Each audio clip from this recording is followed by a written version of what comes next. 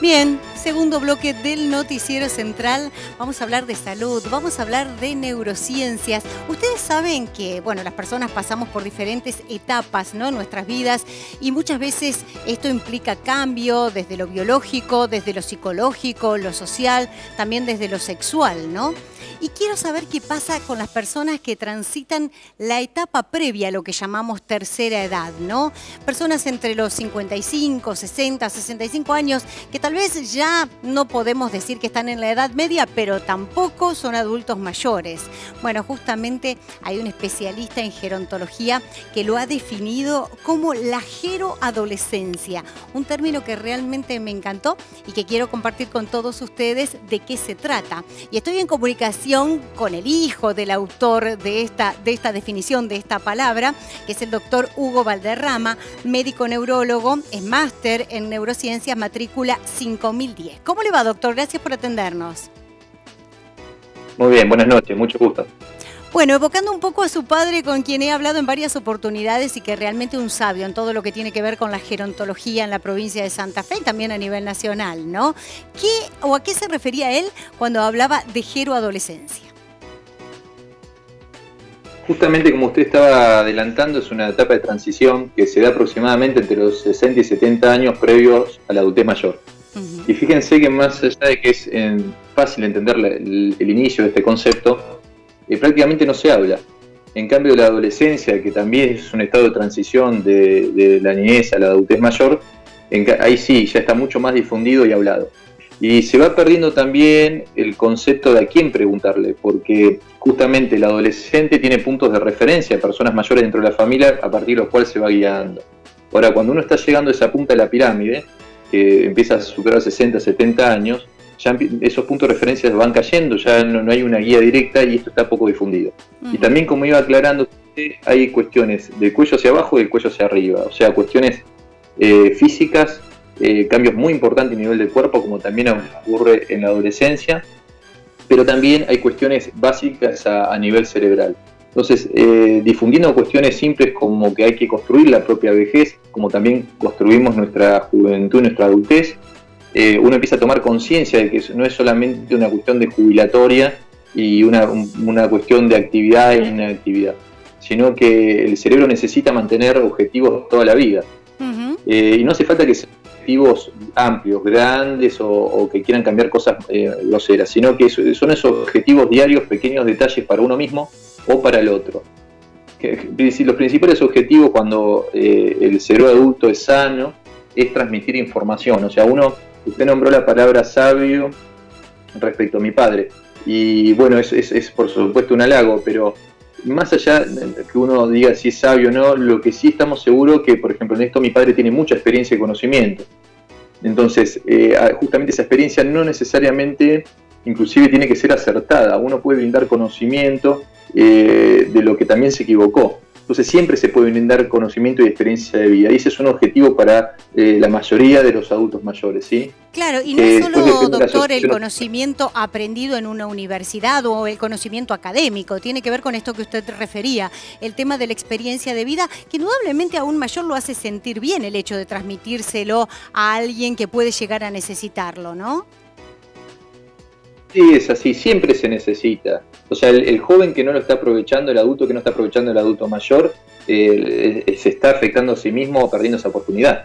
Eh, entonces, es una cuestión este, básica como objetivo transmitir información. Después están los objetivos propios el, eh, a ver, eh, seguir aprendiendo, seguir conociendo, seguir investigando. Empezamos a tener tiempo y lo que hay que entender que el cerebro no necesariamente tiene que tener una recompensación eh, monetaria o de, otro tipo para lograr cosas. Mm. inclusive uno empieza a tener tiempo y al cerebro le encanta el altruismo, le encanta donar tiempo. Y si hay una cuestión de que empieza el adulto mayor a tener es tiempo, y ese tiempo es hiper valioso. Desde, o sea, siempre hay que empezar a ver qué necesita la sociedad y el adulto mayor, cómo se mueve y cómo puede brindar experiencia en distintos ámbitos y tiempo en distintos ámbitos. Y no, no necesariamente esperando que haya un contrato de por medio o algo por el estilo, sino con el solo hecho una recompensa de hacer pequeños logros y pequeños cambios. Después hay cuestiones básicas de, que también tienen, están relacionadas con esto, que es lo social. nosotros tenemos un cerebro social, el ser humano es una especie social y necesita estar en contacto con la sociedad. ¿sí? Es, es, tan necesario como el líquido y como el alimento.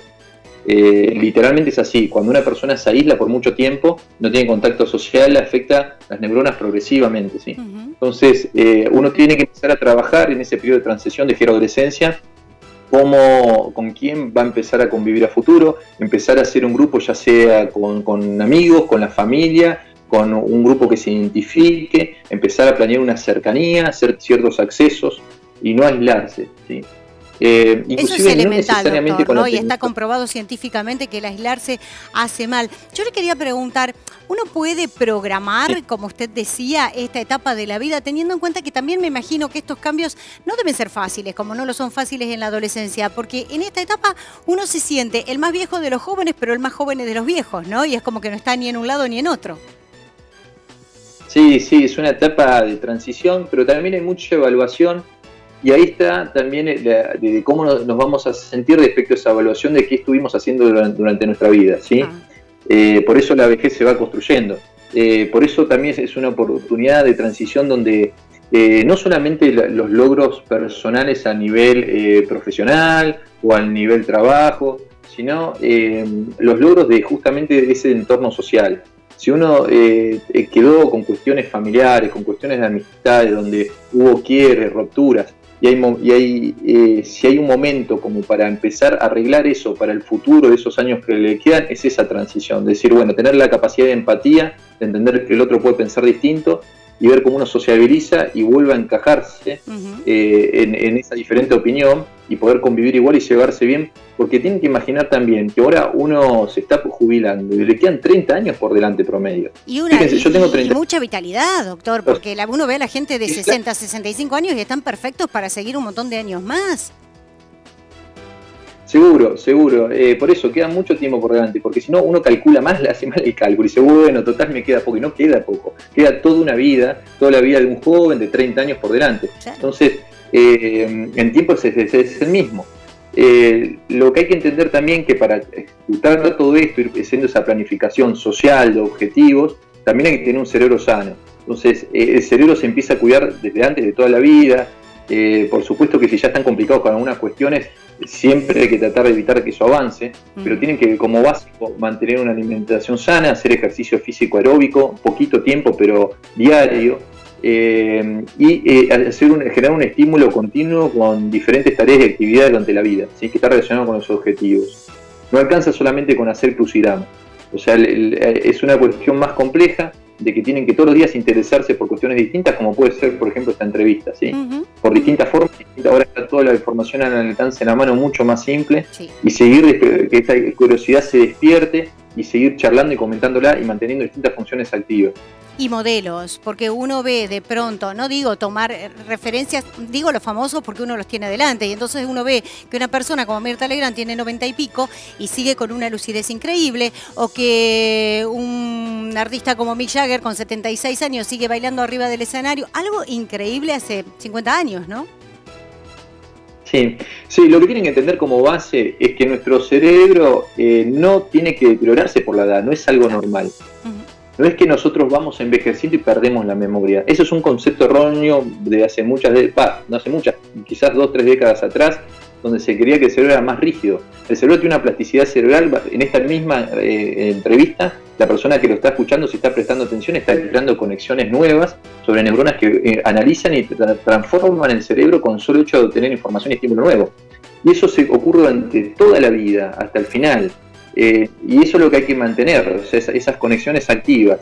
Entonces, el, cerebro, el envejecimiento saludable, saludable del cerebro exitoso con la edad no es necesariamente esta gente puntual que conocemos. En realidad se da mucho. Lo que pasa es que uno tiene como un sesgo del envejecimiento, de imaginárselo como una persona deteriorada, deteriorada. Pero no tiene por qué ser así. En realidad eh, hay estadísticas. Lo que sí lamentablemente es muy frecuente, cuando generalmente no se adquieren esos hábitos saludables que estaban nombrando.